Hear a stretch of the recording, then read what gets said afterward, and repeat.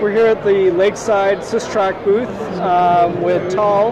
He's going to tell us a little bit about the company and what they're showing here at Citrix Synergy 2016. Sure. Hi, uh, my name is Tal Klein. I'm Vice President of Strategy at Lakeside Software. Uh, this has been a great synergy for us. We launched a, a bunch of things in Synergy. The most, uh, probably the most popular one that we launched is the uh, assessments for Secure Browser and for Skype for Business. So now uh, people can go directly to Citrix.com. If they go to uh, more.citrix.com slash assess either uh, Skype or browser, uh, they can get uh, a free assessment of the uh, their, their Citrix environment. And from here, you get visibility into how many applications, how many web applications users are interacting with, what types of browsers people are using. They actually, you can follow me over here they get a full, uh, they can generate a full comprehensive report. It shows them very, very rich detail, and we can get this online in PDF too. But it's kind of cool. You know, how many, uh, you know, what browsers people are using, how many sites they're visiting, on the internal sites, external sites, browser faults, all the really, really interesting things that could tell them, you know, how good of a candidate they are for browser virtualization. The same thing with uh, Skype for Business. Sorry for moving so much around That's on you, right. but the same thing for Skype for Business.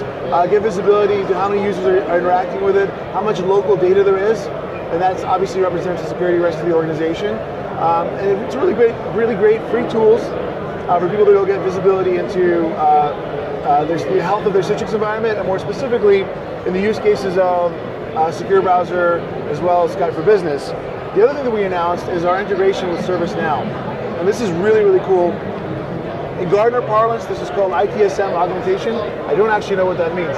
What I will tell you is that it dramatically reduces the amount of time it takes to resolve uh, XenApp issues uh, in, the, in the service desk.